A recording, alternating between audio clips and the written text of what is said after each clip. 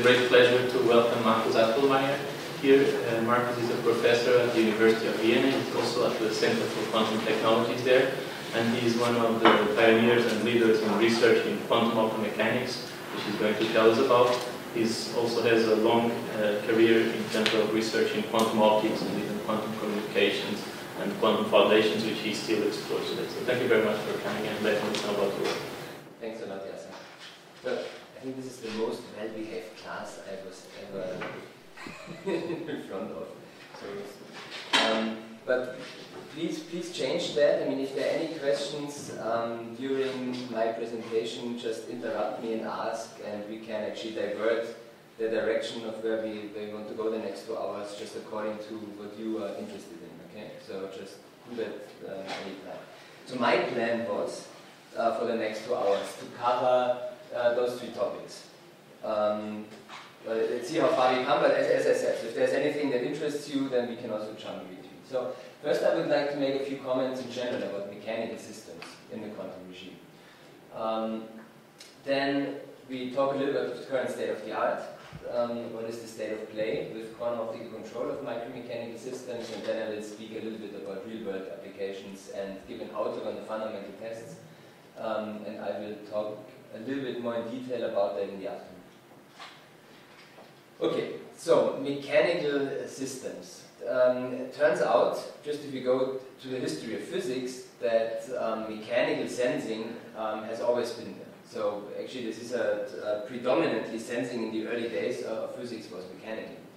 Um, here's, a, uh, here's a nice example of um, measuring um, what is nowadays called uh, Newton's constant of gravitation, but back then was called the measurement of the density of the Earth. So um, Newton conjectured that the density of the Earth should be different from the density of rock, meaning that the, that the Earth is not just a piece of rock that is flying in space, but it's something like um, a, a sphere, a hollow sphere with something inside. And if there's something inside different from rock, then the overall density should be different. He conjectured that it should be, um, and I forgot to look up the value, um, uh, 2 point something, I think, the, the, the, the, density of water. This, this was the conjecture, or five, five times the density of water, something like that. This was the conjecture. Uh, so the question was how to measure it. Newton also said that it's impossible to actually measure gravity between objects on Earth. Um, he said this is something between celestial bodies and on Earth it's completely impossible.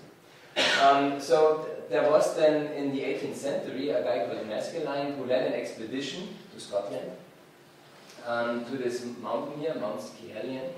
Um, the reason why they picked that is uh, was that this is an extremely isotropic piece of rock, very nicely symmetric, um, in the middle of nowhere in Scotland. Um, and uh, what they did was, they, the idea was to actually measure the gravitational attraction between, between a pendulum uh, that is suspended on a wire and the mountain. Okay? So what they did was they just walked around with the pendulum um, uh, at different locations in the mountain and measured the, the, the deflection due to the uh, gravitational field of the mountain um, and basically did that by aligning the suspension with respect to the pointer. Okay, thanks. Uh, by, by measuring the, the, the suspension uh, with respect to the fixed uh, horizon. Okay, that's, that's how they did that. Um, and took them a year or so to get all the data, do evaluation, and in the end, um, they came up with a value with a huge error bar. And the error bar obviously included um, both the possibility that the density of Earth um, is larger than, um, than the density of rock or is equivalent to the density. Uh, but the reason, by the way, why the error bar was so large in the measurement was um, the fact that they did not have a good finite element modeling of the density distribution in the mountain. They, they tried that already. So this was one of the first instances in the, in the history of, of geophysics that people actually um, uh, invented. Um, I guess they were invented many times. How do you call them? The, the, the, the, lines of same height, iso height lines. Um, I, don't know the English word um, which is a, a standard uh, thing, of course, today in geodesics. And um, so this was one of the occasions that they were invented. They were actually, looking at history, they were invented many times in the history of, um, of, of, measurement, but this was one of the occasions. And so they had an extremely bad model, and this was why the, why, why the, um, the error was so large. And this actually was what motivated Cavendish to, do, redo this experiment. So if you read the original Cavendish paper, Cavendish actually goes in, in, some details into an analysis of the Maskelyne experiment and analyzes why the error was so bad and why actually um, his experiment with really having two, um, uh, two large masses on a, on a well-isolated table gives a better one. And lo and behold, of course, we all know the um, Cavendish experiment actually confirmed Newton's conjecture quite well.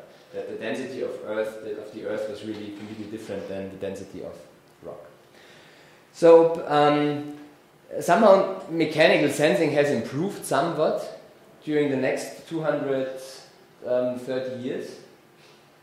Uh, 20 years, 20 years, and um, in particular, um, what what uh, the last, I would say, um, well, 20 years uh, people pioneered in is really the fabrication of micro and nanoscale mechanical devices.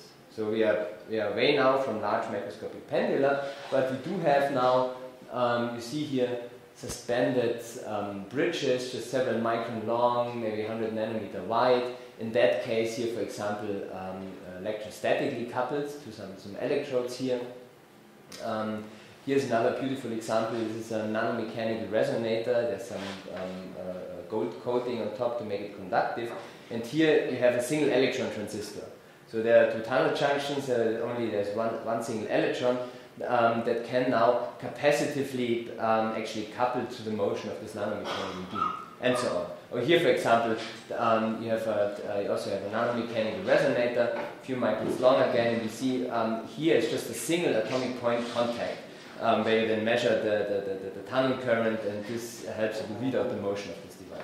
So um, there's a huge leap in, in, in technological development going from um, just having uh, the pendulum with a mass to these nanomechanical resonators.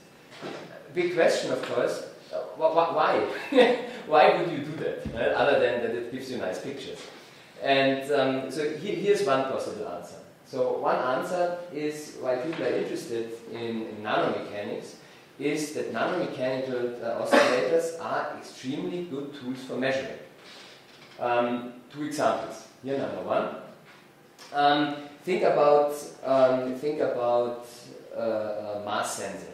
Okay, so normally the um, normally the, the, the frequency of your mechanical system is something like the square root of the spring constant divided by the mass of the system. Huh?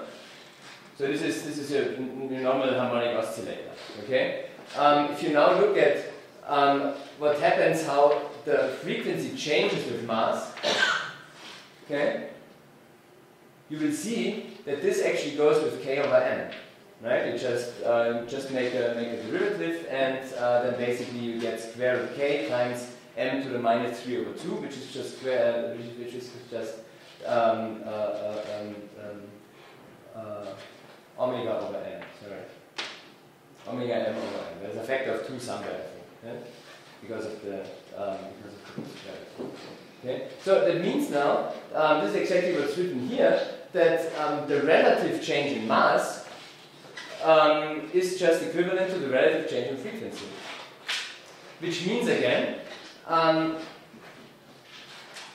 you see delta omega over omega, what is that? If you, if you plot here, um, let's say the, the, the, the um, if you plot here the um, Fourier transform of the displacement, right? Or let's say um, we do the we do the um, do the noise power spectrum of the displacement um, as a function of omega, then normally you get here, you get your peak, your mechanical peak of your, of your harmonic oscillator, right? Um, this is the width, delta omega, around um, here about this, about the, the resonance frequency, and the this characteristic number, so the spread with respect to the um, with respect to the to the frequency, um, is the mechanical um, is one over the mechanical quality factor. Right?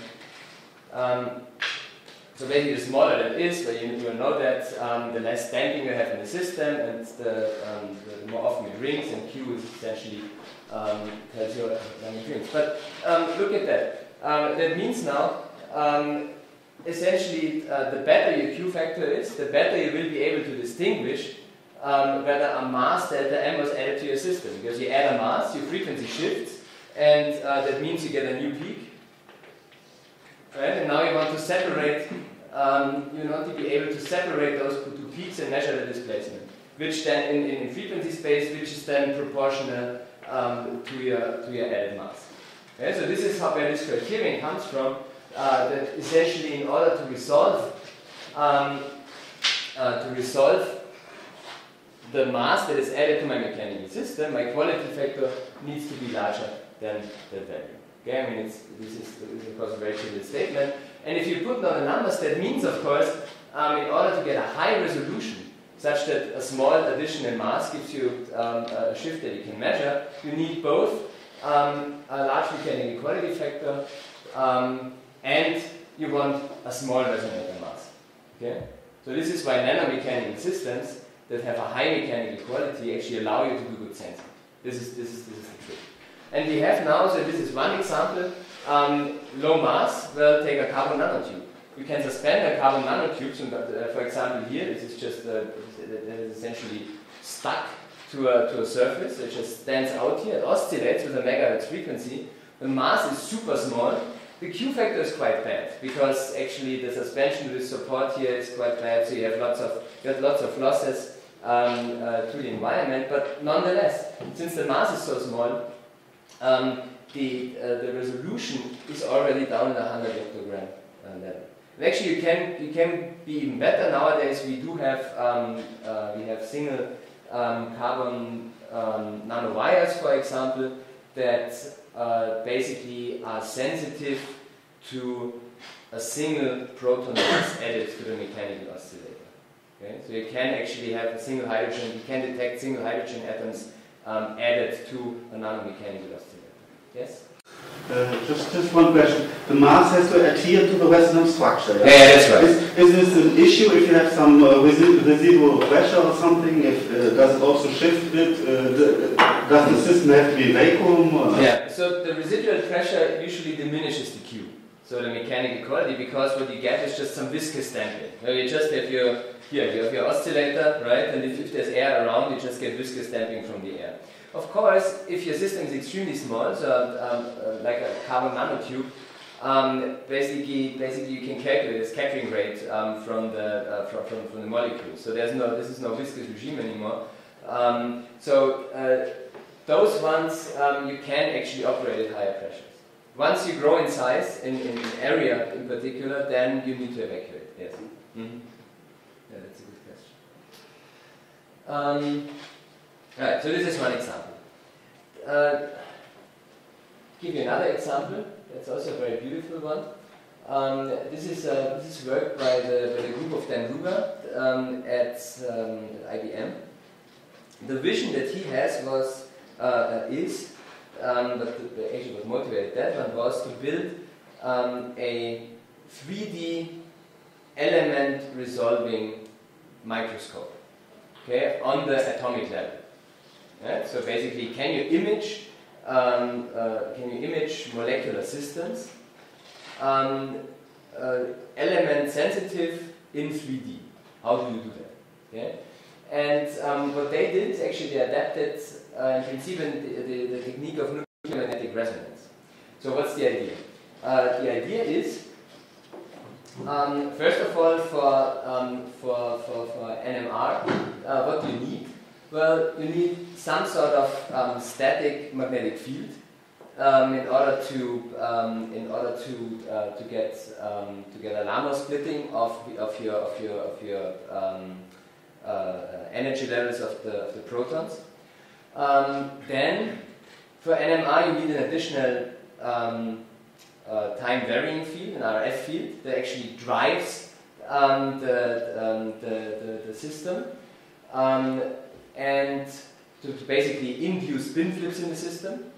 And um, then what else do you need? You need your sample in order to, uh, to, uh, in which you want to make the measurement. So um, the sample they actually put on the bottom of such a micromechanical resonator, in that case this was a, a tobacco mosaic virus, um, the static B fields, they actually uh, um, established with such a little magnetic tip, um, had a huge magnetic field gradient. Normally for regular um, NMR, just have a static field. In that case, it's a strong gradient. We will see in a second why.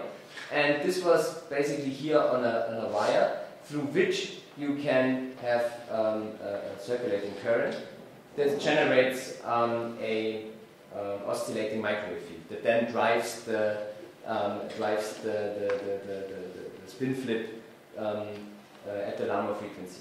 Okay. So what happens now? So here is the here's the mechanical oscillator. Here's the here's the magnetic tip. Right. This thing just oscillates around the magnetic tip. Okay. Um, then you have at a constant frequency you have the you have the RF field, and since here you have a magnetic field gradient, at some point um, the molecule will see a magnetic field that corresponds to a Larmor splitting that will be resonant to this 115 megahertz. Okay? So you, you go over this, you go over this, uh, over this magnetic field gradient, and at some point, somewhere here, you hit the resonance, and the RF field couples, makes the spin, spin flip, and kicks the thing. Okay? And, and, and this, this, happens always. So it, it, goes there, then it's kicked, then it's kicked, then it's kicked, always when it hits the resonance. Yeah? So you get a specific pattern how this thing moves um, when it's uh, due to the spin flips uh, in your system when you, when you go over the, the, the uh, this magnetic field with the RF. Um, of course, it's a, it's a gradient, so you will get several kicks because it's an extended object, and you can do a full 3D reconstruction of the protons in your sample. Okay? It's a beautiful idea, and um, the, the, the, advantage of such a method is, compared to regular um, NMR methods, uh, you see you get a, a volume sensitivity that is 10 to the 8 times better than just conventional MRI.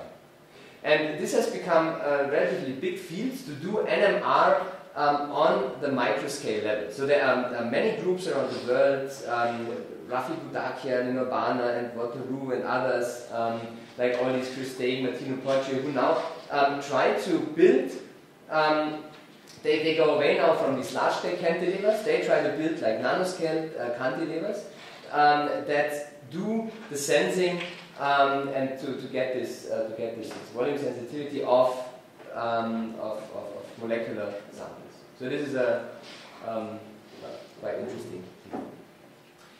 Okay, a couple of other examples here. So this I just showed you. Um, uh, the first experiment they did was actually single electron spin detection. This is now a single uh, uh proton spin.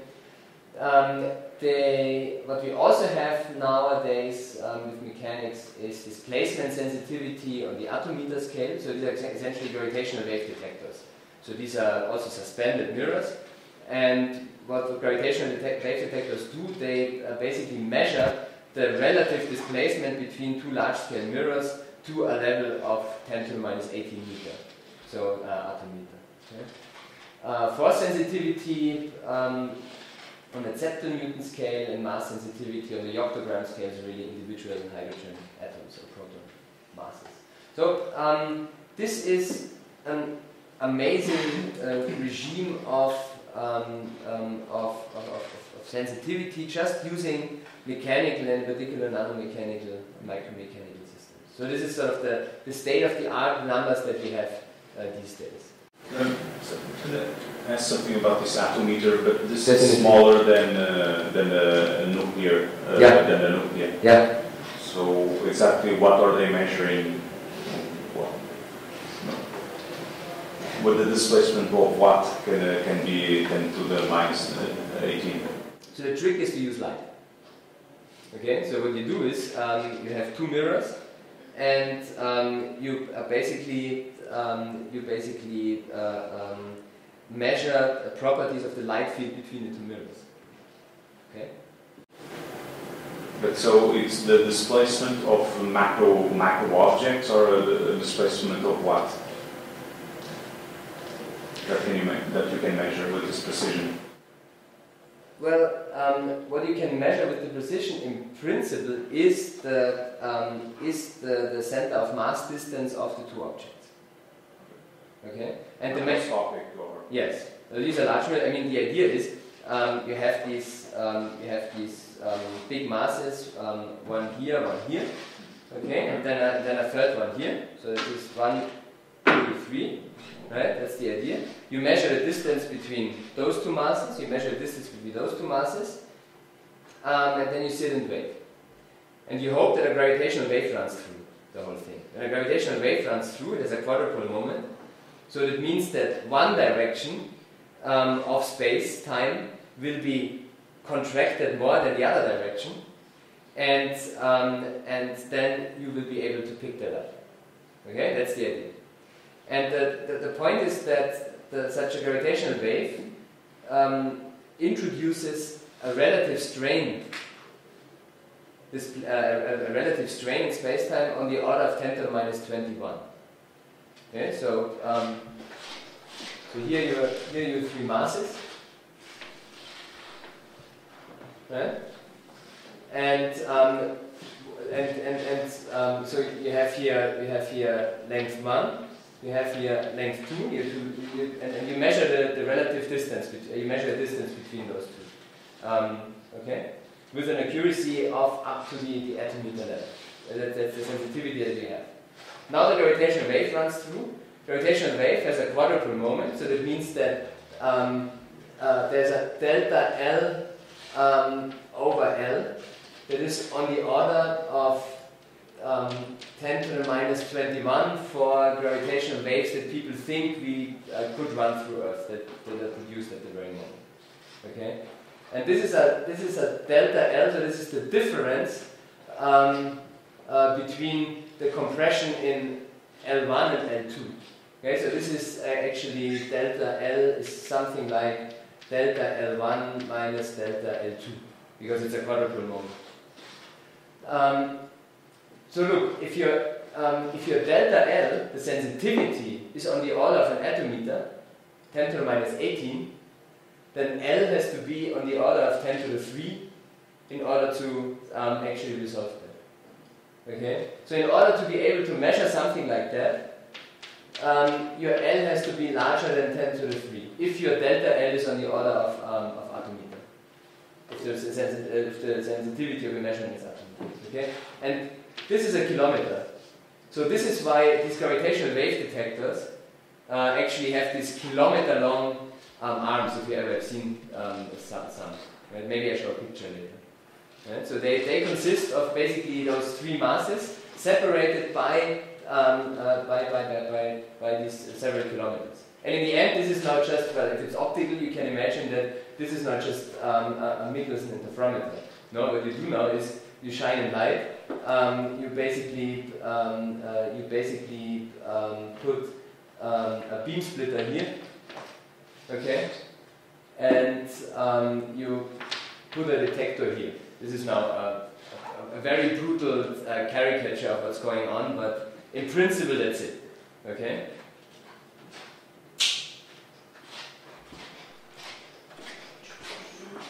Now, um, the, the question that is sort of um, becoming more and more um, uh, the focus of, um, of research was, well, if all of what we are doing here is actually limited by the fact that these are classical harmonic oscillators, because you can ask, so why only zeptonewton, why only attometer, why only, well, it's than simulation.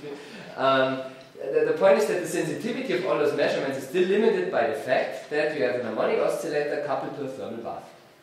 What does it mean? Well, it's thermally driven, so it's shaking, so you do have already fluctuations in the position that are thermally driven. So they are not at all Heisenberg limited or whatever you know uh, uh, it could be. So the question um, that sort of arose during the last years was, um, where could we actually go in with respect to sensing if we were able to push those mechanical oscillators into the quantum regime. Okay? Uh, so this was one of the one of the big motivations of people um, starting to look into um, how do we get micro nanomechanical oscillators into the quantum regime. This should improve actually our sensing capabilities in a fantastic way. I mean, there are also other there are also other motivations. Um, I, I, just picked out randomly one out of the, the, the recent literature.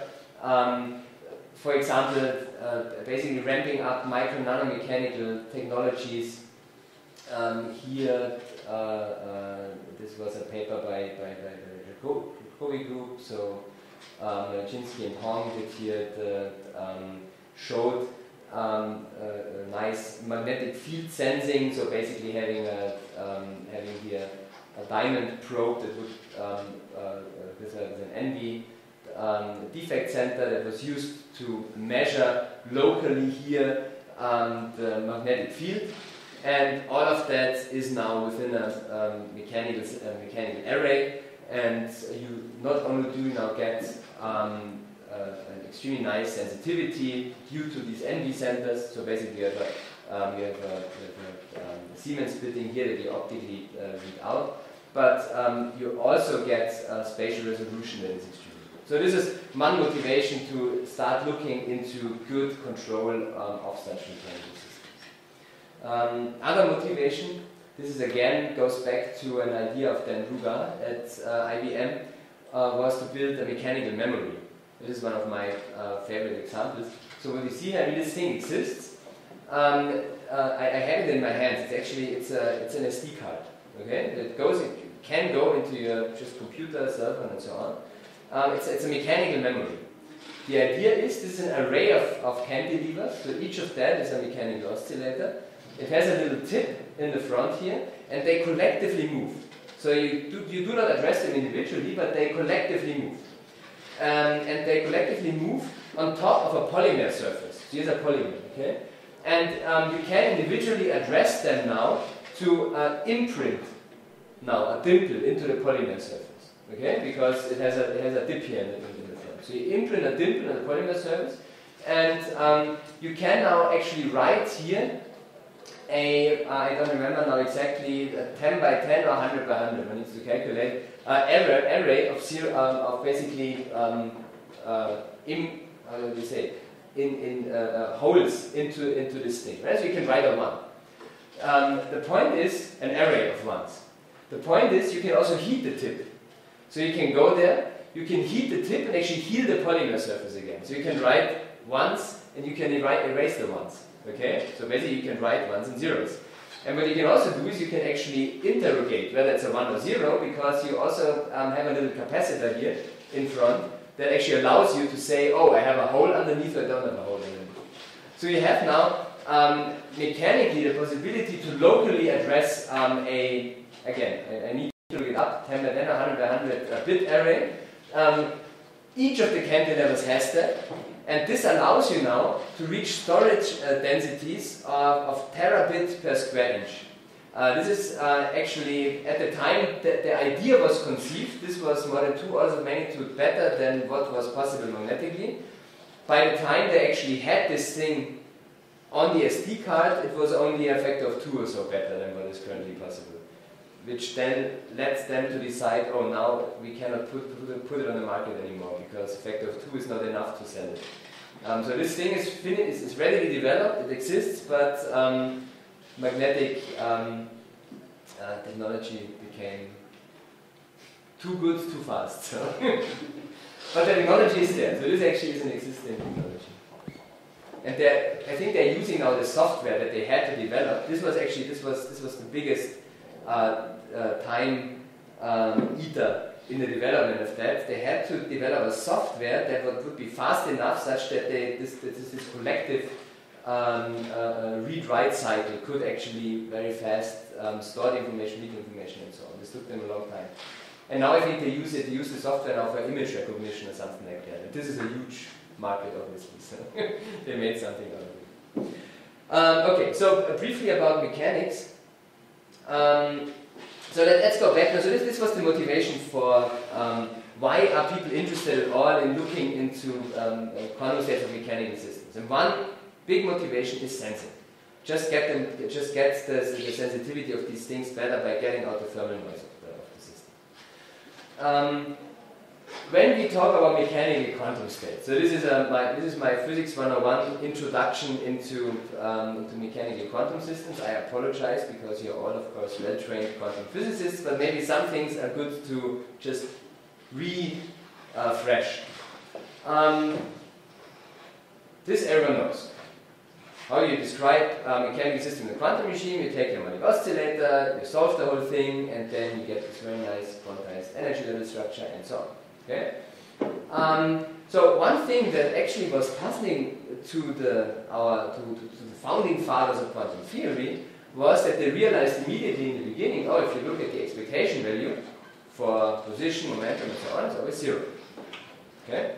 Of course, it's, I mean, we know that. No? If you if you if you look at if you if you, if you have an energy eigenstate um, in a harmonic oscillator, the wave function is always symmetric um, around uh, around zero, and therefore the expectation value of x for an x measurement is always zero. That's not surprising. Um, what people like Schrödinger um, and others found surprising was the fact that this obviously violates the correspondence principle, which um, people firmly believed in in the early days, in a sense that it has, it has to be valid for, for any instance. Um, why? Well, because, uh, so why does it violate it? Well, because this statement is true for any energy eigenstate. So also for n equals 5300 and n equals 10,500 and so on. Okay? But we know that the classical correspondence of an harmonic oscillator should be uh, actually an expectation value of x that oscillates. The point is an energy eigenstate doesn't oscillate. Um, so this is why Schrödinger in 26 wrote a paper um, with the title The Continuous Transition from Micro to Macro Mechanics. This was the paper where he actually put out the solution. He said, look, um, if you only have energy eigenstates, it doesn't do the job. What you have to consider is actually coherent superposition of energy eigenstates. If you have that, um, then you can define something like um, a state with an amplitude that corresponds to something that we know in classical physics as the amplitude of a harmonic oscillator. And for um, uh, uh, the overall amplitude going to larger and larger values, you will get a correspondence um, to a classical harmonic motion. Okay? So the reason why coherent states were actually invented in quantum mechanics um, was to solve the problem how one goes from micromechanical, quantum micromechanical motion um, to a classical macroscopic motion. And then, of course, I mean, we know that uh, the biggest fame of these coherent states um, and the biggest application uh, was, of course, the realization that if applied to the radiation field, um, that this would describe um, the ideal situation of a laser, for example. Right? This was the, the Nobel Prize for, for Glauber in, in, in 2005.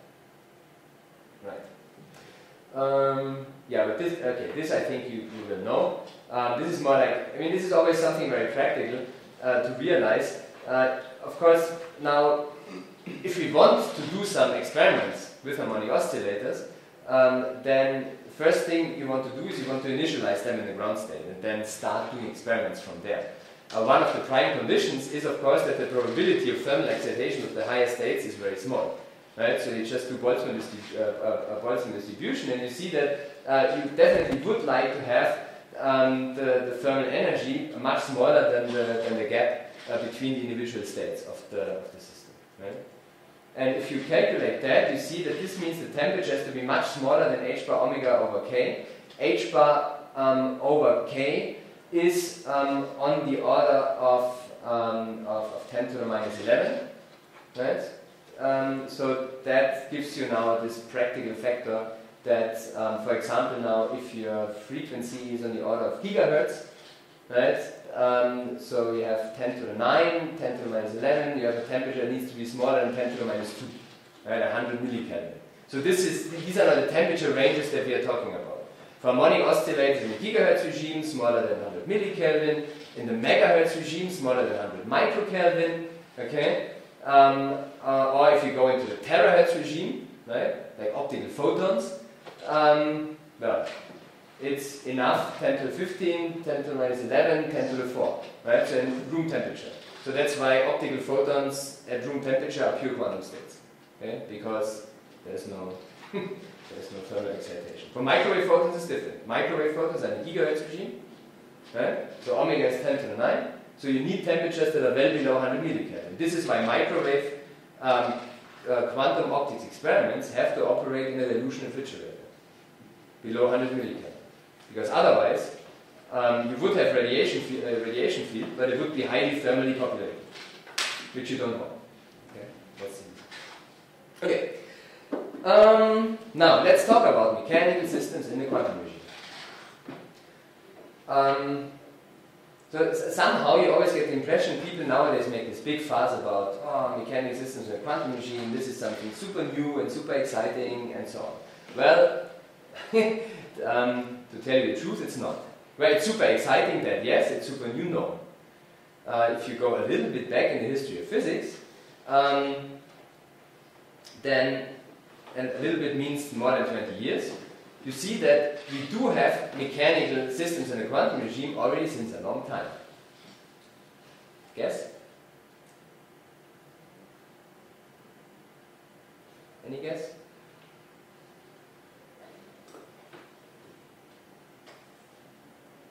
Hmm? Trapped atoms. An atom in a trap is an oscillator. No? Trap means you confine the motion, um, and um, therefore you have an harmonic oscillator.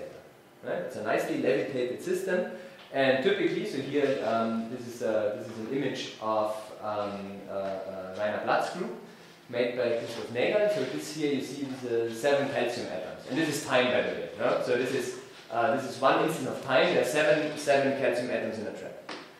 Um, and so each of these ions sits there, and the typical frequencies for the local confinement is on the order of a megahertz. Okay?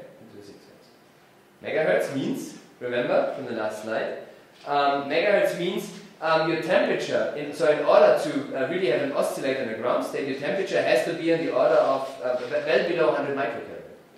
Okay? Um, so, uh, so locally megahertz, and what you also see now is, and now as a function of time, you see there are, um, this basically this is a string, okay, which has different different modes, different eigenmodes, right? You have this collective mode, you have this breathing mode, and so on, and the individual ones. Okay. Um, now uh, a couple of things. So first of all, um, obviously this is a nice mechanical motion. How to put that in the quantum regime? This is question number one. Uh, I just told you uh, temperatures need to be much much smaller than 100 microkelvin. How do you do that? Have you ever seen an ion trap experiment? This is actually it's a vacuum chamber, okay, that sits at room temperature. And you look in and you see a couple of electrodes and so on, a couple of lasers shining in. It is a room temperature experiment. There is nothing cryogenic. There is no device that would somehow flood this whole thing with 100 microkelvin something. No, it's not. Um, I mean, some, somehow it's like, uh, of course, carrying us to Athens here, but um, I, I, I, since I was told um, many of you have more background in quantum information theory, I'm not sure how uh, basically um, standard this standard is. I mean, how, how, do you, how do you reach now these low temperatures? Laser cooling. Okay? That's how they do it. It's a room temperature experiment, and you cool the motion um, uh, of these things here now well below the ground state temperatures using laser cooling. Okay, this is the whole. This is this is the whole. Um, and what you exploit, of course, the fact that you have here internal degrees of freedom. Um, well, no, which is um, uh, and and the fact that if you shine a laser um, on your um, on your on your on your, on your um, atom string here, that the motion um, couples to the radiation field and imprints a phase information of the, of, of the motion onto the laser field. Okay?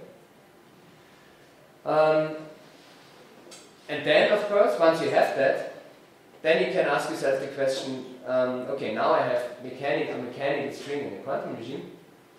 Um, what do I do with it? Well, the answer is um, you basically um, ask yourself, could I actually use that to couple the internal degrees of freedom of the atoms to each other? Yeah? I mean, have you ever asked yourself how these guys actually manage to couple qubits of individual ions that sit there on a string, but they don't talk to each other? Right? You individually address each atom, but there's no there's no direct coupling. I mean, in, in principle, you say, oh, maybe spin coupling and so on. Right? Well, there is, but it's too small. It, it, it is small. Full stop. Yeah? It's not it's not the direct um, interaction between those systems that couples them.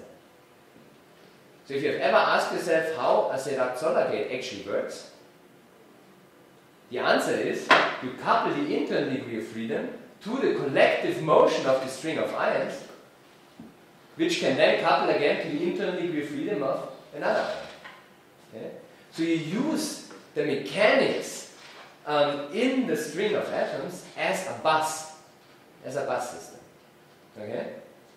So this is why actually trapped ion quantum physics comprises everything um, that also um, now in the field of optomechanics or um, mechanics uh, uh, quantum systems in the, in the, macroscopic domain actually makes use of. Okay?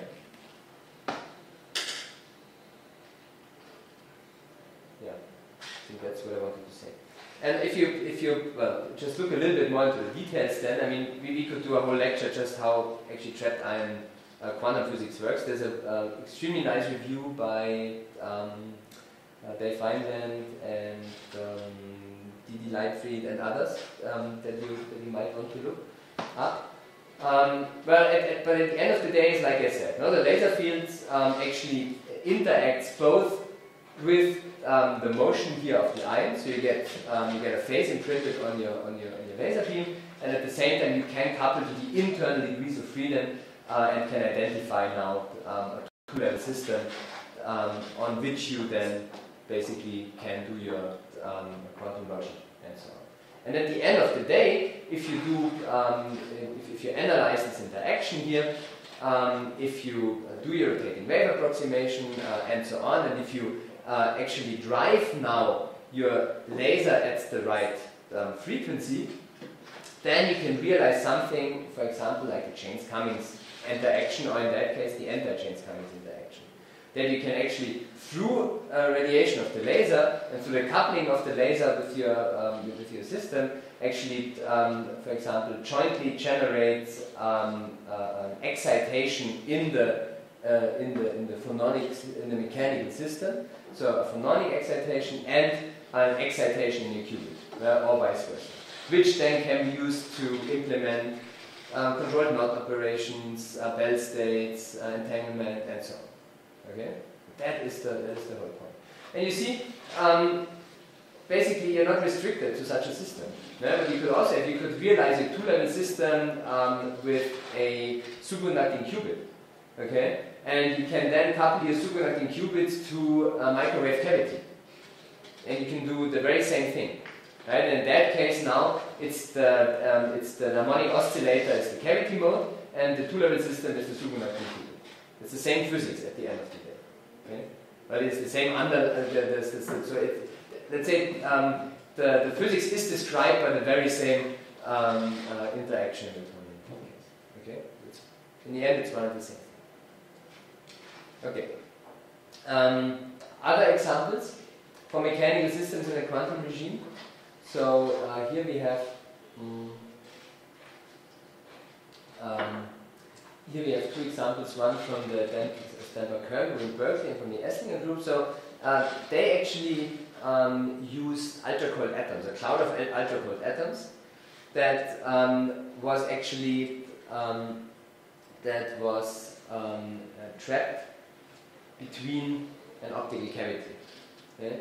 So actually, it's the it's, it's the motion now um, of the um, uh, uh, of the atomic gas that couples to the optical cavity field. Uh, or uh, in that case, in the, in the Esslinger group, it was actually a collective density excitation that leads couples to the, to the cavity field. So uh, this is one way now um, of ramping up um, from a let's say seven ion or 10 ion or 18 ion system to a system with already 10 to the 3 atoms. Okay, so this is already a, a more macroscopic uh, oscillator. 10 to the 3 atoms collectively moving. And now we can, can go even larger. Now we can go to um, systems where we have 10 to the 13 atoms, for example. So um, here this is a micromechanical oscillator. So this is I don't know how good you can can see it. So this is this is um, just here this um, like a diving board. Um, so micromechanics. It's suspended here, right? So this is basically now um, here freestanding. It can oscillate like that. Um, they actually looked at something else. They actually looked at thickness oscillation of this thing. So this is an aluminum nitride, um, uh, aluminum nitride mechanical oscillator, and they uh, actually look at the vibrations in this direction, okay, of this whole thing. Uh, the, the, the main idea, which is really ingenious, is that the thickness oscillations are in the gigahertz regime. Yeah? So I have now a harmonic oscillator in the gigahertz regime, okay? Um, and I have somewhere over here, I think I have a picture somewhere else I will, sh I will show you later. I have, I have a superconducting qubit. Yeah? And I, I showed you before already. So what they can very nicely do is they can couple superconducting qubits to a microwave cavity. Okay? So basically, um, there have been many experiments in the, in the um, microwave quantum optics community where um, superconducting qubits were coupled to microwave cavities via Jaynes-Cummings interaction and realizing exactly this, uh, this interaction. Now what they did was they basically took out the cavity which is nothing else, it's a microwave cavity. So microwave cavity means it's an harmonic oscillator at microwave frequencies. Okay, that's it. That's what a microwave cavity is. They took out the cavity and replaced it with a mechanically oscillating element at microwave frequencies. The coupling to this thing was simply via piezoelectric, so it was capacitive coupling. This is a, a piezoelectric material, so it's an aluminum nitride material with two aluminum caps. So basically, um, if you have a charge qubit, you can transfer um, the charge and then basically um, put the charge energy on your system. And this is how you have now coupling between a superconducting qubit and a mechanical oscillator. And it's a brilliant idea and it works beautifully. And then they, I, yeah, I, I, will show later a, a, a, few more details on that system. And then we have other systems that I will also uh, come back in the, in the second part of the talk. Uh, last uh, comment. Um, I told you that the main point about um, trapped ion quantum physics is the, that you exploit the mechanical um, aspect of the um, of the of the trap uh, of the of the chain of ions as a bus in order to do a really coupling between the individual spins in your in your atom chain, okay, between the individual qubits in the atom chain. Um, well, you, you, can think of a similar uh, idea with larger mechanical systems. Well, the point is, if you have now um, micromechanical systems of that size, right, they are huge. I mean, what you can do is you can just functionalize them, right? You take your mechanical mode, uh, you put something conducting on top, you couple to charge, you put something magnetic on top, you couple to spin, you put some um, mirror on top, and you couple to photons, and so on, to light, right? So um, that means when you functionalize them now, you, you, can imagine that you now have a mechanical bus system that could couple photons to a mechanical mode, which is again coupled to magnetic flux, for example. Right? Um, and in that way, uh, you basically have now a mechanical transducer that allows you um, to make different quantum systems interact that otherwise wouldn't interact. Right? So one big thing, I will show that later, is right now um, converting microwave photons to optical photons. Okay? How do you do that? If you couple them somehow, if, if you manage to couple them to a mechanical system, maybe that can transduce um, the, the interaction and then can actually uh, um, um, can uh, sort of transfer individual excitation of one radiation field to individual excitations of the other radiation. Okay? That's the idea.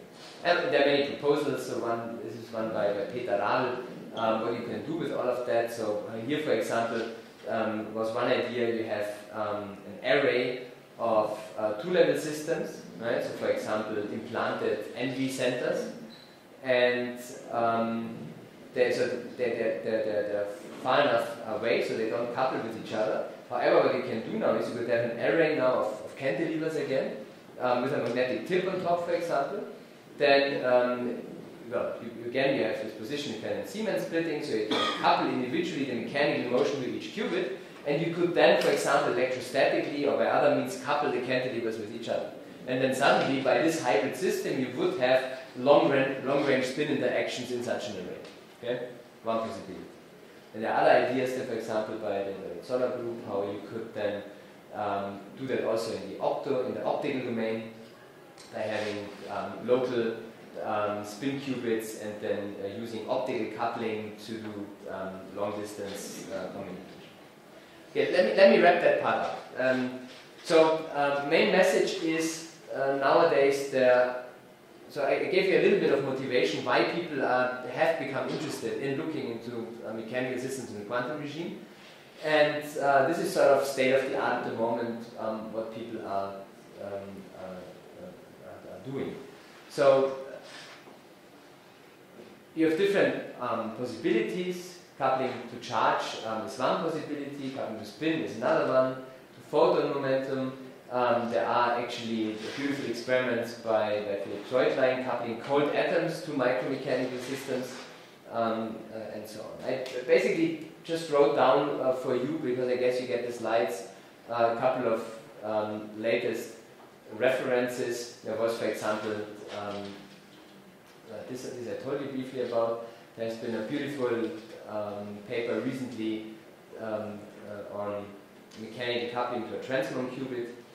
Uh, in the spin case, there were recent um, examples where um, one could read out, read out mechanical motion using the, the spin of an, uh, um, an NV center.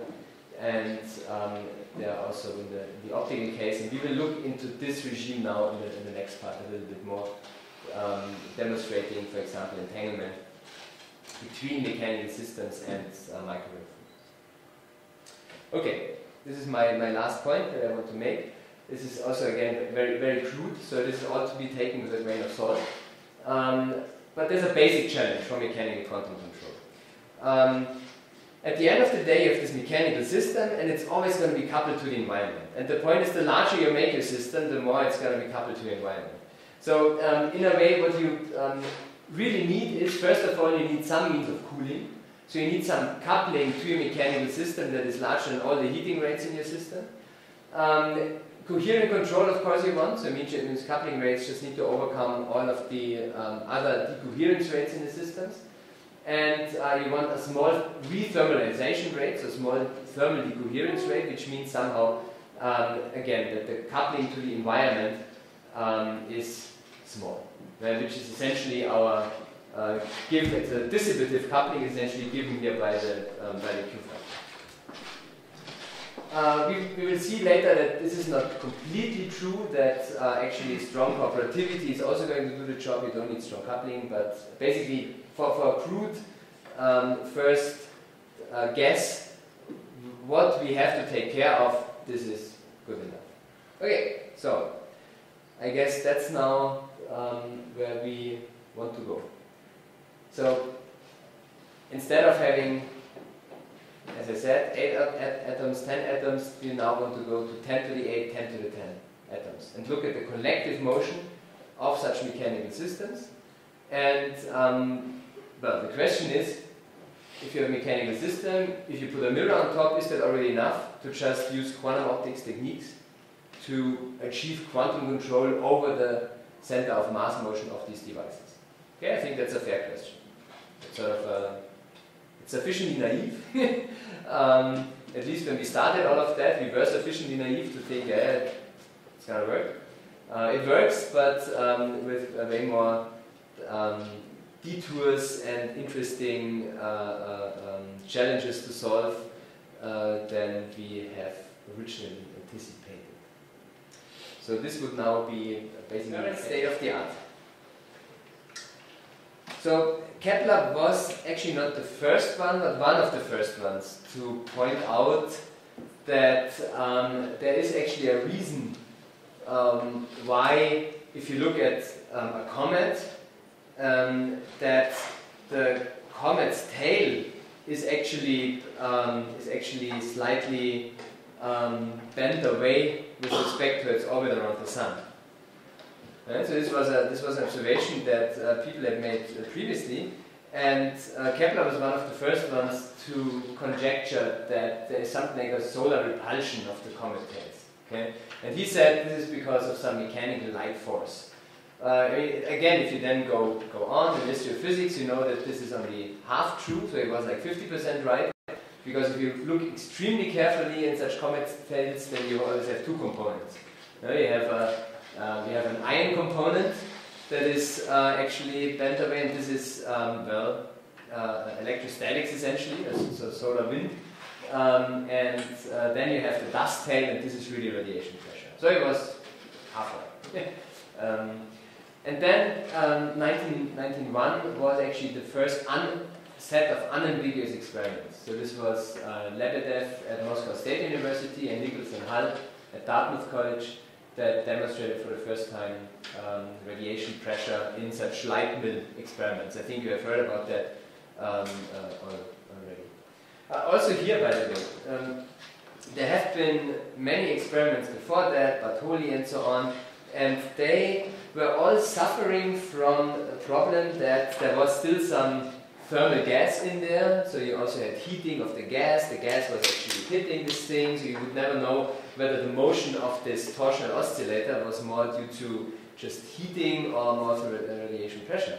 And it was, like in many cases, when you get an advancement in, in, in, in physics, it was a development, a, tech, a, technological development that enabled this thing. It was actually the development um, of, of glass polishing. So it turns out that um, only through um, the, the art of glass polishing, people uh, could actually fabricate glass vessels that they could then evacuate to low vacuum levels. And then they were able to uh, basically perform experiment at low vacuum levels, lower vacuum levels that were previously possible. So it was always a combination of um, experiment and, uh, and then technology, technology developments went um, hand in hand. So, classic radiation pressure, 1901. As early as 1909, um, it was a guy um, called Einstein who actually um, pointed out that uh, if you look at radiation pressure, uh, there's, um, you, you, can make interesting statements about the nature of radiation. Uh, so there is this famous lecture that he gave in 1909 in Salzburg. It was, um, it was a talk at the Society of German Natural Scientists and um, Physicians, so medical doctors. Uh, this was at that time, uh, the turn of the century, these were all natural scientists. So this was actually, this is the predecessor of the German Physical Society. This was at that time the Society of German uh, Natural Scientists and Medical Doctors. Uh, and at, at, this, at this society meeting in 1909 in, in, in Austria, he uh, actually gave this talk about the development of our views on the nature and the constitution of radiation. Yeah, this was the title of the talk. Uh, and the talk had two parts. In the first part, he introduced for the very first time publicly the consequences of his special theory of relativity. This was the very first public uh, lecture on this, um, on, on, that. Uh, in the second part, he was asking a completely different question. He was asking the question whether it is possible to derive Planck's radiation law without and I quote here, such a seemingly outrageous assumption, uh, like the light quantum hypothesis, okay? which came from him, of course. Right? um, and he built up in this Holger Gedanken experiment. He said, oh, let's take just um, take a, a, a, box, um, a black box uh, with uh, temperature of the walls and the gas inside. So, and then you get thermal equilibrium between the gas and, uh, and, the, the walls of the box. Okay? Now let's put into this thing a mechanically vibrating plate. Okay, and this actually has a reflectivity um, for certain frequencies um, and so on. And we just look at, we just assume that this is a reflectivity at a very certain frequency, and this can vibrate. Um, so uh, obviously the gas thermalizes the thing, so the, the motion will be um, uh, will, will be um, uh, at thermal equilibrium with the gas temperature. Um, but then he, he, he, realizes that actually there's, a, there's some energy transfer going on. There's an energy transfer going on from the gas to um, the mechanics, this was equilibrium, to the radiation. Um, how come? He realized, oh look, if there's light coming, um, and uh, actually this mechanical thing is moving towards the light, then it will see actually, because of the Doppler effect, a slightly higher energy. So the momentum um, for the photons coming in this direction will be slightly higher than the momentum of the photons coming from that direction. So there is a radiative friction. So this was 1909. So we realized that actually radiation would cool, uh, would, would slow down the motion of this thing. So basically this is a predecessor of laser cooling uh, already in a, in a 1909 uh, work of, of Einstein. Um, and then he realized, well, but that means actually, so where does the energy go? So it means that energy of the mechanics is transferred to the radiation, and now I get an energy transfer from the gas through the mechanics to the radiation. And all the energy um, of the gas is transferred into the radiation. So I um, somehow, um, if I just assume that I have monochromatic radiation and so on, I do not have um, I do not have thermal equilibrium anymore between these between these constituents. How can I actually manage um, to, um, to, to, to, to establish thermal equilibrium in such a situation. And then he analyzes how actually, um, uh, um, given Planck's uh, radiation law, how actually the position fluctuation of the um, mechanical element is affected. And he uh, actually demonstrates and concludes that the radiation pressure um, basically has two components. One that looks like a particle contribution, just momentum transfer, and another one that you basically can only interpret as um, coming from a, like, a Poynting, like, a, a Poynting vector like uh, transfer, which only makes sense in a wave picture. Uh, so he concludes actually in this analysis that um, through looking at the radiation pressure in such an experiment, we have to conclude that the nature of radiation has to comprise both particle character and wave character. This is 1909. And then he also says that, uh, well, but um, right now we do not have such a theory that would actually um, give us a consistent, um, consistent picture that comprises both viewpoints. Um, second encounter was Schrödinger. So um, Einstein was, I, I, would say, historically, I guess, the first one to um, combine quantum optics with mechanical systems.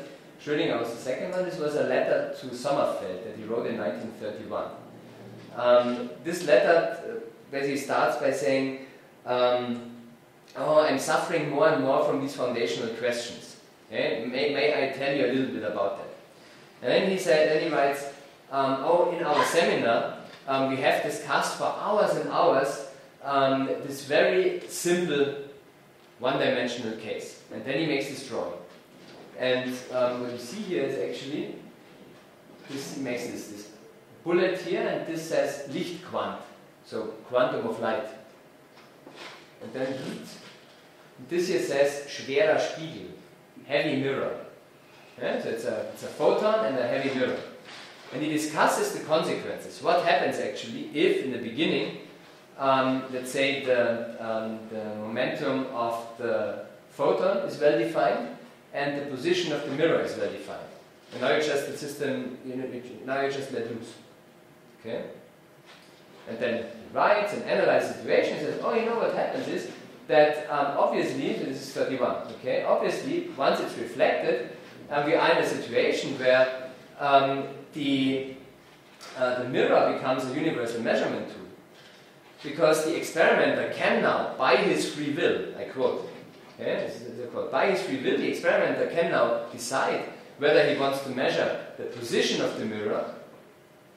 By, um, by, by doing so, he will actually, um, he will actually, uh, uh, um, he will actually know the position of the photon. That's right, you know, it's reflected. Or he can decide to measure the momentum of the mirror. And by doing so, he will know the momentum of the photon. Okay? Um, and then curiously, momentum of position um, and position of the photon are registered with accuracies the product of which can be pushed way below the limit of h. What does it mean? This just says in words the conditional variance of either a position uh, measurement or a momentum measurement of the photon through measuring this one here, so the conditional variance um, of position and momentum of the, the, the, photon violates Heisenberg uncertainty. This is essentially um, the quantitative um, uh, uh, uh, Reid-Drummond criterion for EPR entanglement. Okay? So this is a definition, this is, this is a correct quantitative definition of EPR entanglement. The conditional variances violate, uh, violate um, uh, uh, Heisenberg uncertainty. In 1931, the term entanglement was not even coined at that time. Okay?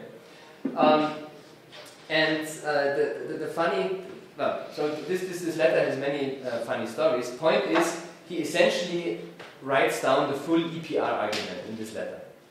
Okay? Um, and the funny conclusion is that he comes to the opposite conclusion than Einstein, Podolsky, and Rosen will arrive at in 1935. So he actually concludes, and I let me just quote here. I didn't have the time to actually. Uh, it's uh, Schrödinger's handwriting is unreadable. Okay, and Einstein is fine, but Schrödinger is. Uh, you, you, can see here. So, um, so he says. I just quote here. Okay, he says. One may want to conclude that the photon has a definite position and a definite momentum at any time. A viewpoint that we had already left behind us as too harsh and too paradox. Exactly the opposite what Podolsky, and Rosen say. Okay, they say, oh, actually what we want is that it has both position and momentum at any time. Right? And therefore our description is incomplete. Schrödinger argues exactly the other way around. He argues that um, this viewpoint we have already left behind us as being too harsh and, and, and too paradox. One almost cannot avoid to issue the following emergency decree. In, uh, it was between the wars still, yeah, exactly. So that's where the language. Yeah? In quantum mechanics, statements about what really is, statements about the object are forbidden. They only deal with the relation between object and subject. Obviously, in a much more deeper sense than in any previous description of nature. Yeah? So this was Schrödinger's conclusion. And it's exactly 180 degrees of Einstein-Rosen. But anyways, so again, this was entanglement, and this is my, my, my second instance of quantum optics and, and mechanical systems. Now, ask yourself the question, can we do such an experiment? Okay? So, what do you do? Just reflect a photon off a mirror. Momentum transfer to h bar k. Okay? Then you just do uh, energy momentum conservation. And so in that case, just energy conservation. Okay, and so with that you just calculate the mean displacement of your, um, of your, of your mechanical system. And you see that your mean displacement, and I now just write that down relative to, um, and now this is um, up to your liking how you want to call that. Um, I assume I have here just a tiny harmonic oscillator. Okay? It's a little mirror, mass on a spring. The spring constant. Okay? And therefore, uh, since it's a harmonic oscillator, it's a mass on a spring, I can define um, a zero-point wave packet. So actually the ground state wave packet extension of the thing. If I would cool it down to the ground state, then the wave packet extension would be x zero point. Right? So it's a square root of h bar uh, over mass times frequency. Okay? Fair enough? Uh, or other language, this is sort of the, de Broglie wavelength order of magnitude of my uh, of, of, my, of my mirror, of my, of my heavy mirror. Okay? So, I have a single photon reflected from my system and I want to know how much it is being displaced with respect to its um, uh, wave packet size if the whole thing is at essentially zero temperature. So, by just momentum and energy conservation, you calculate that is, this is equivalent to the wave packet size divided by lambda, the wavelength of the photon. So let's put some numbers. If I go to a store, online store, and buy um, a little cantilever, well, obviously I want to have a small system, lightweight system, such that my photon can do something. It can actually uh, um, uh, um, affect the displacement. So I buy my little cantilever from the shop. Okay? Cantilever, you know, for atomic force microscopy and for, for the experiments that I showed you before. These cantilevers have frequencies somewhere around 10 to the 3 to 10 to the 6 hertz. They have some mass of some nanograms maybe. And so you can calculate that the ground state extension would be somewhere between picometer and femtometer of these things. Okay? Um, if I take a photon close to the visible regime, so like 500 nanometers for green, or just let's say a micrometer, uh, factor of 2, doesn't matter, um, then we calculate that the displacement with respect to the ground state wave packet size is on the order of 10 to the minus 6 to 10 to the minus 8. What does it mean? It means that um, if my state before um, the uh, before the momentum transfer, it, means that the state before momentum transfer and the state after momentum transfer are essentially indistinguishable. Okay, so the two wave packets nicely overlap. Which, for all practical purposes, means if I write down the then my my my uh, dynamics of my uh, of my of my uh, state, that the mirror factors out. Okay, because because of that. It just factors out. There's no, it means there's no entanglement. Okay? This is, of course, bad for this argument. Okay? I mean, um, but, but you, you all know that now. Now this is now about just uh, continuous variable entanglement. Obviously, if there would be no noise at all in my system, then even a 1 minus epsilon is sufficient this is an entangled state. Okay? But I'm talking to you as an experimental physicist. So there is no such thing as a completely pure state. Okay, so that's why if there's an epsilon, it's a killer. There's, then the entanglement is fine. Um, I wanted to say something very important. Oh yeah, so that's bad news for such uh, for, for doing something like that. You cannot just take a single photon, shoot it on a heavy mirror as you can buy it off the shelf, uh, and generate a entanglement. It's just not possible. You're lacking six to eight orders of magnitude. And that is a, that is a huge factor. Yes? Uh, would the argument be the same if the mirror is moving? And so some Doppler effect or so comes in and changes the momentum of the photon? Would it then be possible to get some entanglement? Hmm. Um, actually, if you do the numbers, um, so the, the, the, movement is extremely, um, extremely small. Now you have um, the velocity that you get um, is the amplitude times the frequency. Right? That's the that's the maximum velocity of the system at the at the um, at the at, zero uh, of the of the of the oscillator potential. The amplitudes are somewhere, um, let's say for um, let's say in the micrometer regime, but this is already large. Okay, so 10 to the minus six meters. Uh, frequency is maybe megahertz. Okay, so you have uh, which is 10 to the 6.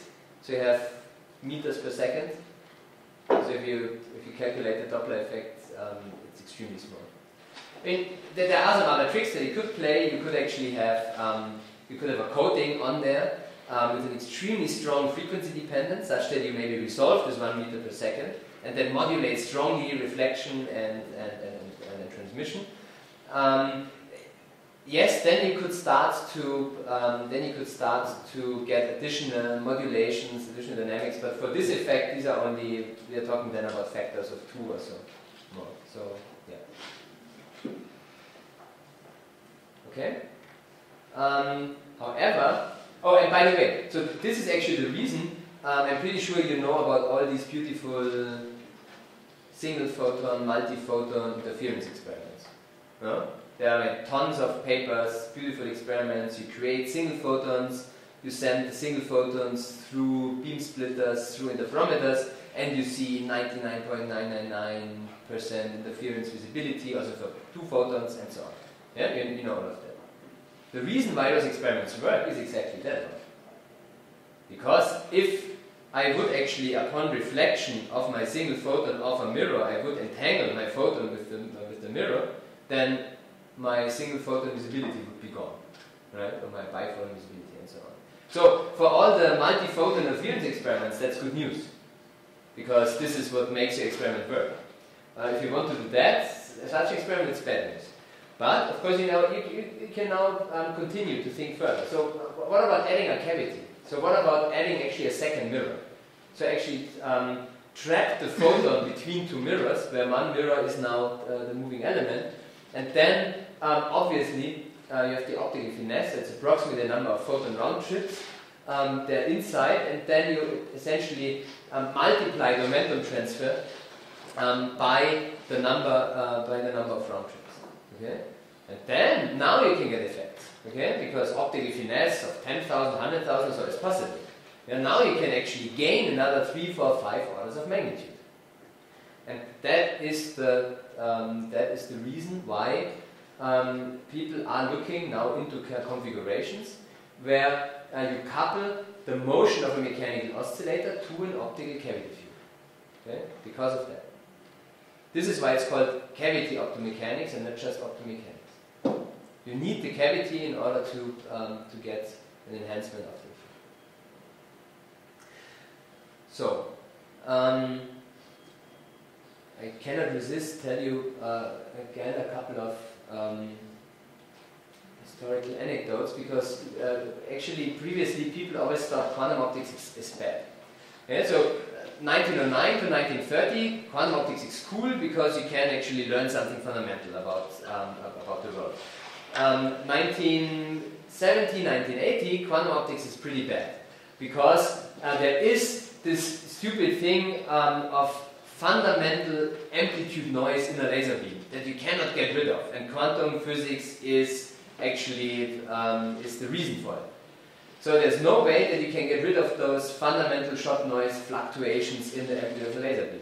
This is a problem.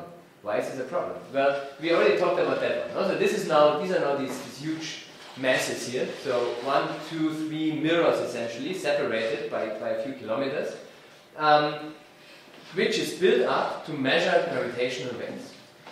So of course, if you spend hundreds of millions of dollars in such a machine, you want to be sure that it works before you build it. Okay? So you do some calculations. And the big, big question was, so here you see actually, um, here you see the interferometer, and you, you see now already it's a little bit more complicated than I drew. So here's this first mirror, and then actually here's a cavity, and here's a cavity.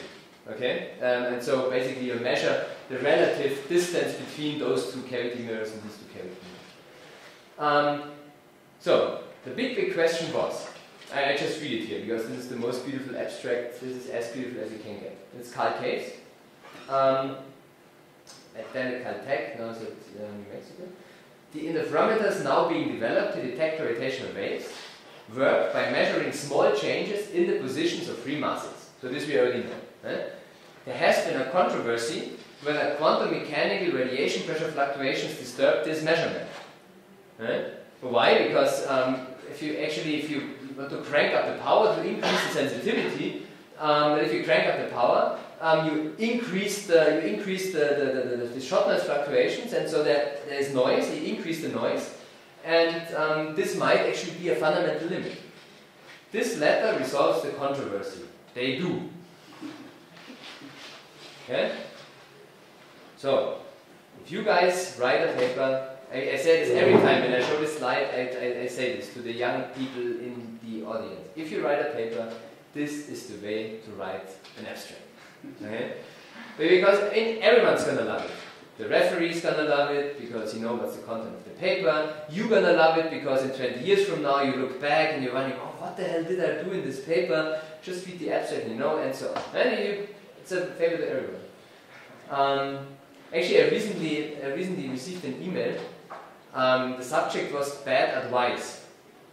And I was wondering, ooh, ooh, what did I do wrong? And there was a PhD student um, who actually said, oh, by the way, so I, I, I, was in this in this lecture of yours, and you actually showed this um, wonderful abstract, and you gave the advice that one should write abstract like that, and actually I did.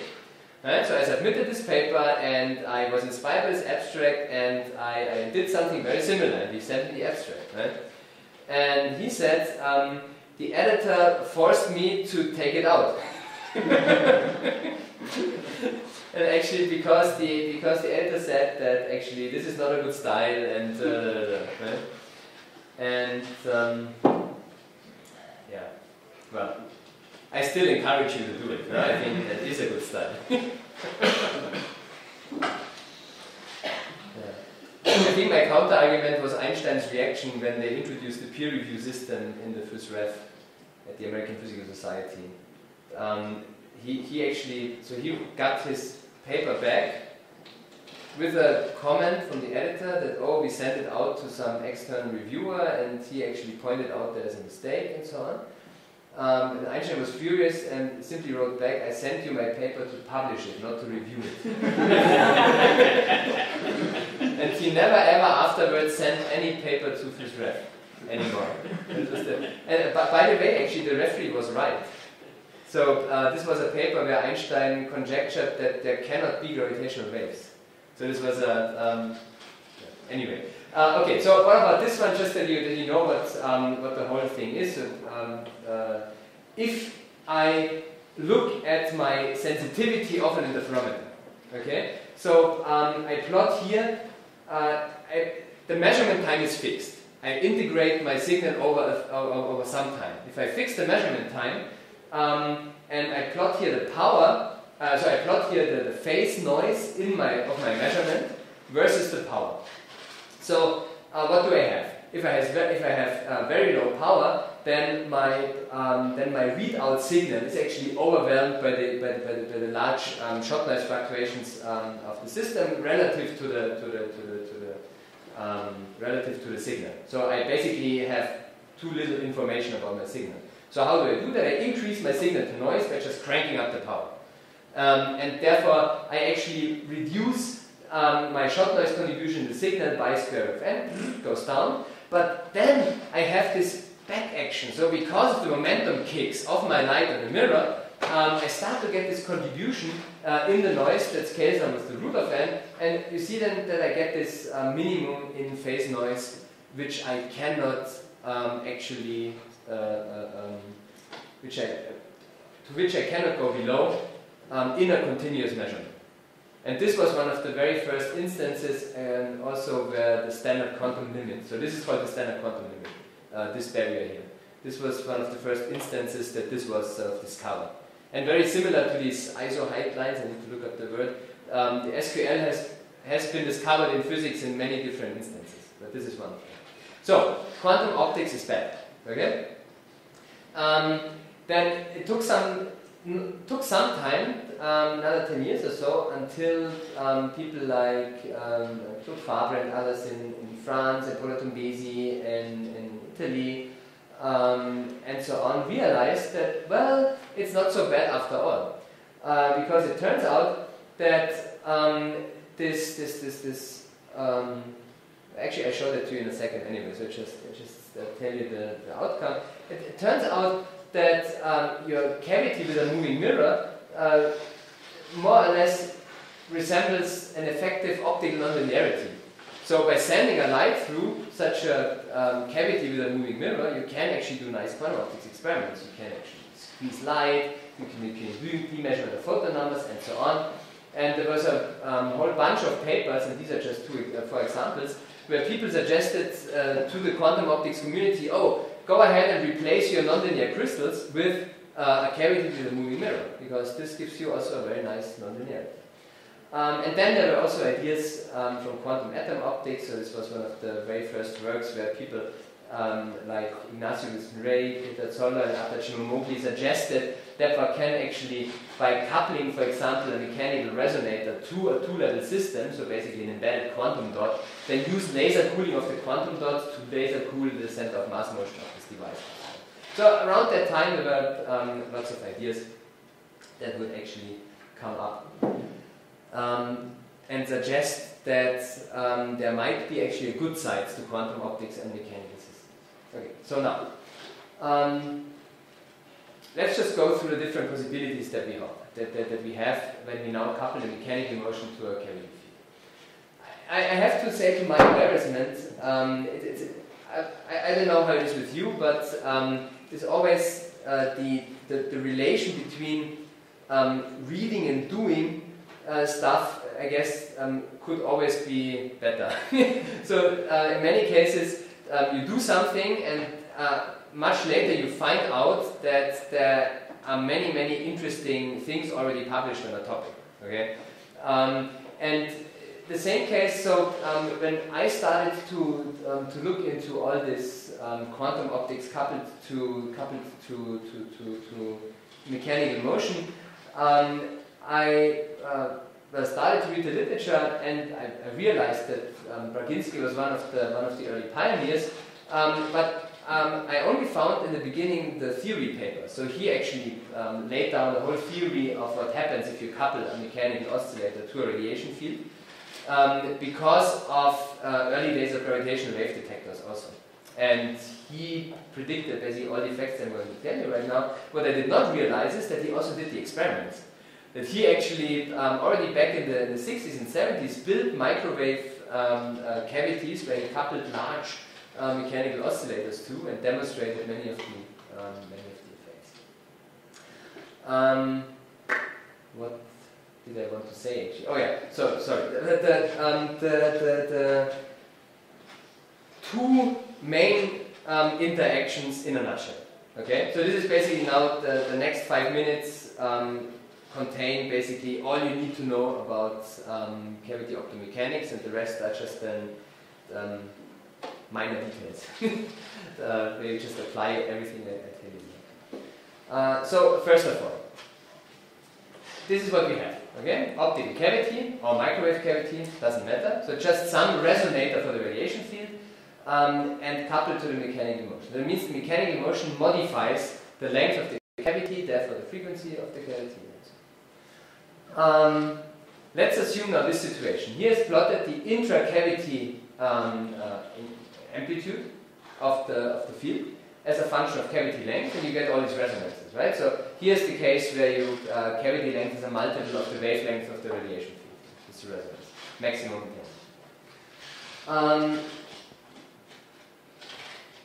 so the first thing you realize, uh, if you have now your mechanical system you shine light on, you get um, the, the phase of the of the, the phase of the light that is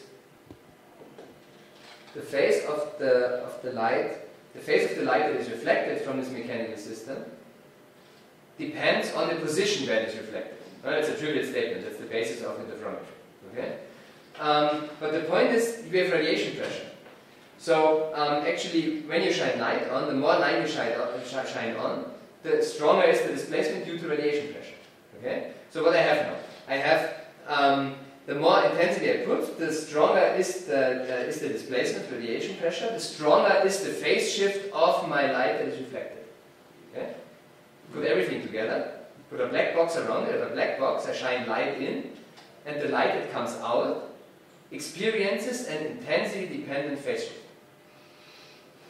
That is an optical nonlinearity. So that's effectively what a Kerr medium does. So this is why all these guys in the 90s actually uh, said, oh, um, replace your nonlinear crystals with which you do squeezing and so on um, by a cavity with a moving boundary because it does exactly the same thing okay, if it's a resonance. Um, and actually it has been used, so there are a couple of experiments, so this was run by the Stamper-Kurn group uh, back in 2012, two years ago, where, again, remember the mechanics, is a cloud of ultra atoms, and you shine light through, and the optomechanical coupling uh, generates um, optical squeezing of the light that is transmitted. And um, in Oskar Painter's group and um, together with my group, actually we demonstrated uh, also squeezing of light coupled to a solid state optomechanical cavity. I, I will say a little bit um, about that. Okay, so that's number one. You do have um, optical nonlinearities. So actually the optomechanical coupling affects the light. Okay? Um, now, what about the mechanics? Well, for the mechanical side, uh, ask yourself the question what happens if I now don't operate here on resonance, but what happens if I operate somewhere here, detuned? If I operate somewhere here, so let's say I detune my cavity length such that I'm sitting here, and now my mechanical system is actually vibrating. Okay? So what happens? If it vibrates, it means that it sees the cavity field that is oscillating in amplitude. Okay, so this one, if it vibrates now in a detuned cavity, it sees um, a time varying um, uh, uh, uh, cavity field, which means that it sees a time varying radiation pressure. Yeah? So what I have now is, I have a mechanical oscillator, and I add to this mechanical oscillator a position-dependent force. Okay? And that's mechanics 101. Harmonic oscillator plus position-dependent force means you change the spring constant. Right?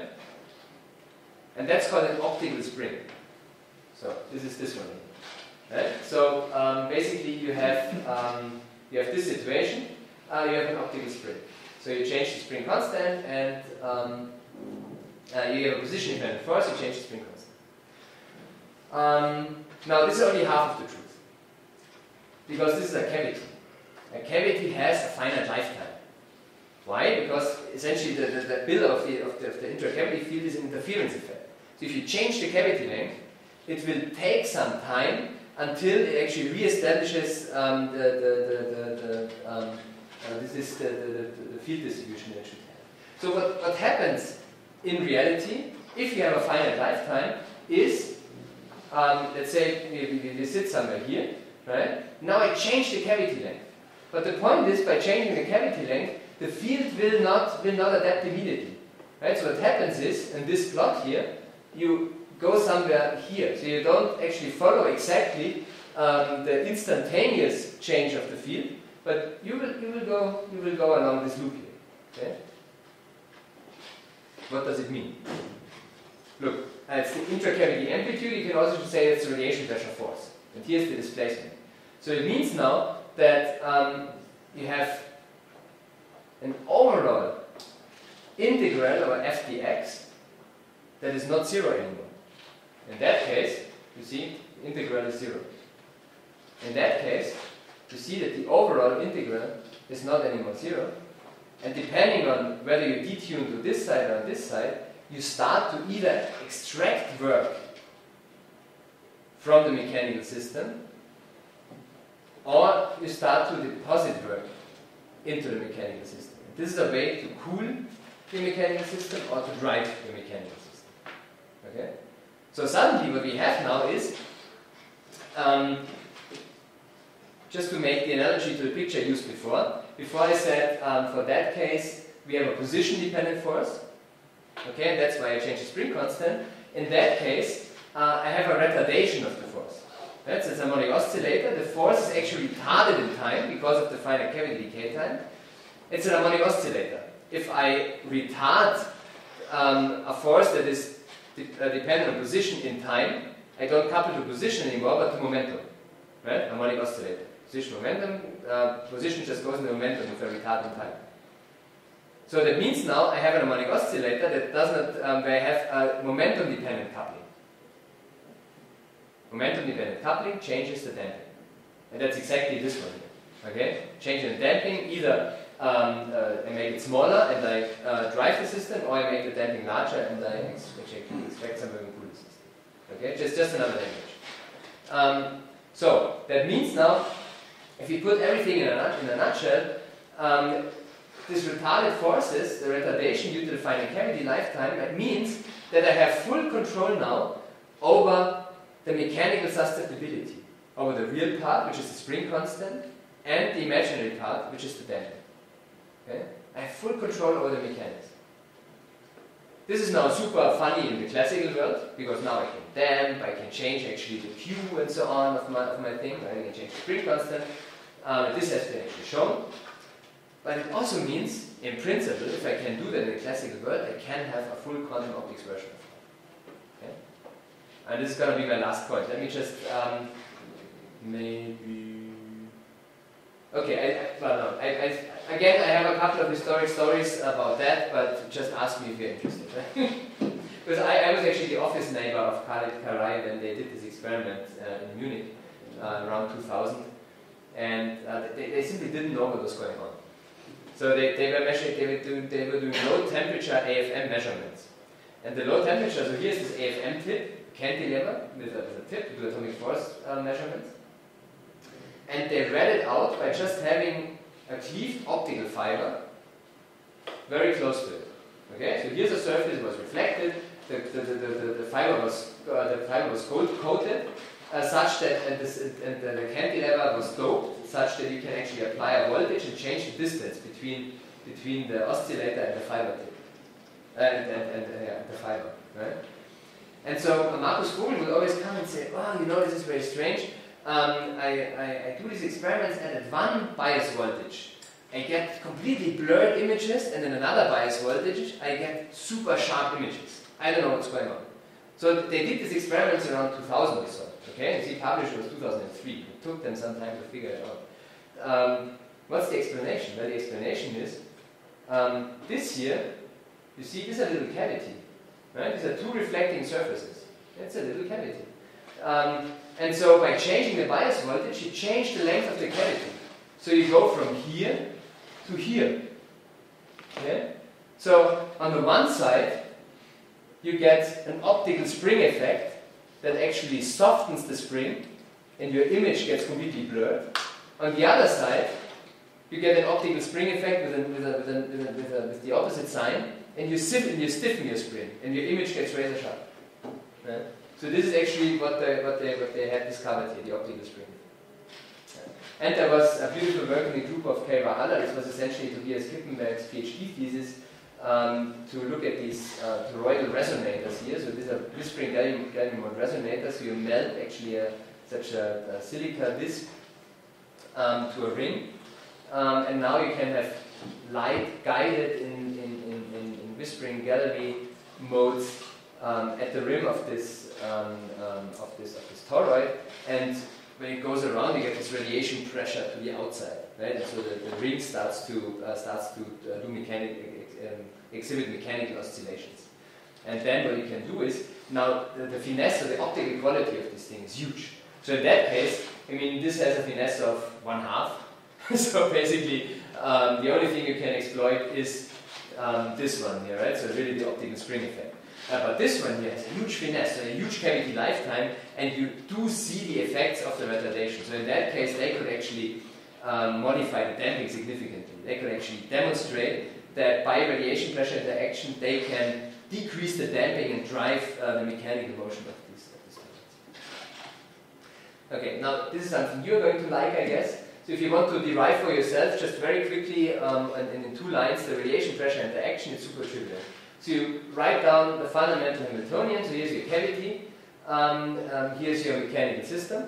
Okay, so these are just the modes of the cavity field, these are the modes of the mechanical system.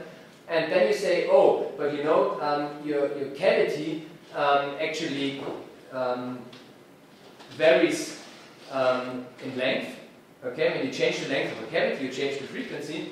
So basically, um, you just do now um, uh, uh, Taylor expansion of your cavity length, of, of, of, your cavity frequency with respect to the length. Okay, say, oh, you know, the first order, um, it's just the, the, mean cavity frequency, but then you have some changes in the cavity frequency, right?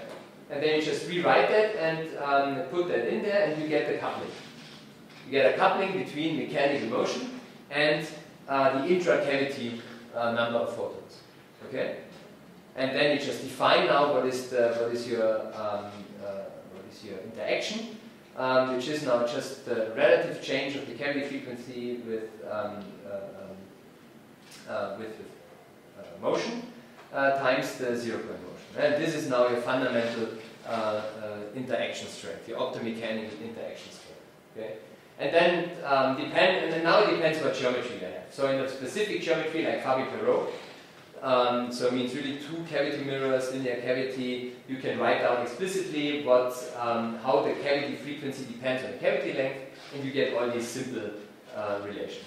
There are other cavity configurations where this is not any longer so easily the case. Then you really have to uh, determine this value here, uh, for example, by finite element modeling and so on. Okay. Um, okay, I mean we are completely out of time. I apologize. Let me just give you the um, let, let, me just give you the quantum version. This is something you understand immediately. Uh, so, so, this is the, the, the, the, Hamiltonian that we just derived. Um, what we are looking at in our experiments usually is the fact that we drive very strongly a cavity. Okay? So we are not yet at the regime where we have a single photon um, that interacts with the cavity. We are still operating in a regime where we just have a laser beam with like 10 to the 6, 10 to the 8, and even more photons um, with which we pump this optomechanical uh, resonator. In that case, of course, you can linearize the whole thing, right? You can, uh, this, this you know much better than I how to do that, I guess. Right? Uh, so you just linearize uh, the thing around the steady state value um, of your radiation field, and then uh, what you get is now the interaction is driven optomechanical cavity, um, where you now do not couple anymore um, effectively to the number of photons in the cavity, but you essentially couple to the amplitude quadrature of the cavity field. Okay? And now it's really coupling between two harmonic oscillators. So this is, this is now the point where it starts to become boring. Because now I told you all these fascinating things, and in the end it boils down to having two coupled harmonic oscillators. Okay? Uh, on the other hand, of course, having two coupled harmonic oscillators, well, this you know already, having two coupled harmonic oscillators is at the heart of two-mode quantum optics. Right? In the end, these are also just two harmonic oscillators, two radiation fields, and they make they normally couple with each other through some optical nonlinearity. Okay, but at the end of the day, it's also just two um, harmonic oscillators. So, um, I wrap up here with the quantum part. This is really the, for you the most simple thing. Um, let's now look at this linearized regime. And let's just look at a situation. So again, cavity field is now quantized, the mechanical motion is quantized, and we look into the into the situation where we operate in the resolved sideband regime. That means that my cavity uh, bandwidth um, is much smaller than the mechanical frequency. So what does that mean? That means that if I plot in frequency space now my cavity resonance, the cavity resonance has a certain width, which essentially defines um, how, how good you actually store photons in the cavity. Um, uh, it defines actually the, losses, so it's, it's 1 over the losses in your, in, in cavity. Um, and um, so the cycle resolved regime is uh, the situation in which the um, mechanical frequency is much larger than the width um, the, the, spectral width of your cavity. Okay? Then we can uh, distinguish three different situations. Situation number one, you pump, now with the external drive field, you pump your optomechanical system rapidly at lower frequency. Okay? And you pump it um, at around the mechanical, uh, the detuned um, uh, um, away from the cavity at around the mechanical frequency. Okay? So you see now, the only way you can scatter photons into the cavity is by getting some extra energy. Where does the energy come from? Well, it come, comes from the mechanical oscillator. So um, if you're detuned by the mechanical oscillator, you can actually get uh, some additional energy by scattering, um, oops, by scattering, um, by scattering from the mechanics. Um, and what you have now is um, you have the you, excite one cavity photon, um, but of course at the same time you, you, you destroy one phonon in your mechanical oscillator. Okay? Um, of course, if the interaction goes on for a long time, you also have the, you also have the other term. Okay? So it is just now a coherent energy exchange between the cavity field and the mechanical system. Good? If your cavity loss rate is very large, what happens is you scatter a photon in there by eliminating a phonon, and this photon now, before it can actually now convert back the energy into, before it can convert it back to, mechanical energy, it's lost out of the cavity. Okay? And this is cooling. Because the energy that the photon that is now leaving the cavity takes away the energy um, of the mechanical system. Okay, this is essentially resolved band, resolved sideband laser cooling. That's the whole thing. Um, and so this is the way how to continuously extract now energy out of the out of the system and eventually cool it down to the noise. Uh, you can pump it on the other side, of course. If you pump it on the other side, you see that you can um, excite the cavity field um, only if you get rid of some energy. Where do you put the energy? You put it in the mechanical system, um, and what you get now is a coherent um, uh, uh, um, uh, generation of correlations. And in two-mode quantum optics, you all know what it is. This is a down conversion interaction or a two-mode squeezing interaction. This is the interaction that generates entanglement between those two modes. Okay? Now we have everything together. We have a method to um, actually cool the system down to a ground state. This is also a state transfer Hamiltonian, by the way. So you can also start to use that to transfer um, quantum states of light, for example, onto the mechanical system and so on. Um, and you have something to entangle the system. Okay. So this is actually the full toolbox that you need in order um, uh, for uh, to, to have a full quantum optical control over your mechanical systems. Okay? Because on, on, the radiation field side, you can do everything, right? We have single photons, um, single photon subtraction, single photon post-selection. So we have many non-Gaussian operations. So these are all Gaussian operations, of course, but you can, uh, so first of all, even within the domain of Gaussian operations, this is interesting because you can still um, generate uh, entangled states and so on, but you also have the added, um, the, uh, the, the, the, added toolbox of non-Gaussian uh, uh, radiation system, uh, radiative systems right, photons. That then helps you to also generate non-Gaussian mechanical states. Right? So what do you need in order to make that work? Work? You need some minimum entropy mechanical states because you don't want these are these are nice um, unitary uh, operators in the end, but if you apply them to maximally mixed states, you don't see anything quantum.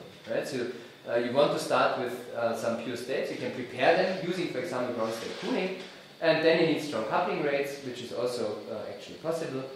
And um, just to show you that, essentially um, there have been several works where um, people independently showed these two regimes. And now the Lehnert group um, last year for the first time demonstrated really a combination of those two by showing entanglement between a mechanical mode and the radiation field. And essentially, sort of the, the summary of the, uh, of the latest entanglement experiment um, by the Lehnert group. So they uh, basically used um, first the beam splitting interaction to cool the system. Okay, so you have actually a pulse that um, uh, you, have, you, have, the first um, continuous beam that cools the system, then you switch it off. Um, you send in a pulse that actually entangles your radiation field um, with the mechanics. Okay, but somehow uh, what you need now is um, you need a direct measurement of the mechanics. So what do you do? Well, you send in actually a second uh, pulse, again red detuned. The beam splitter interaction does a state transfer. So effectively transfers the state of the mechanics on the optical field. And then what you do is um, you of course then um, correlate your um, two pulses and demonstrate that you have entanglement. So in that case, again, conditional variance of the, the quadratures below the um, below the, the, the Heisenberg. Okay, so um, there would be many, many more things to say, obviously, as you can imagine, but I guess um, for the time being, this is where we are. Um, of course, I didn't uh, tell you all the different experimental challenges. Maybe I, I try to say a little bit about that this afternoon. Um, but I hope that this gave you at least some rough introduction of um, why people are all interested in doing that and what is currently sort of the methods that are available. Thank you very much.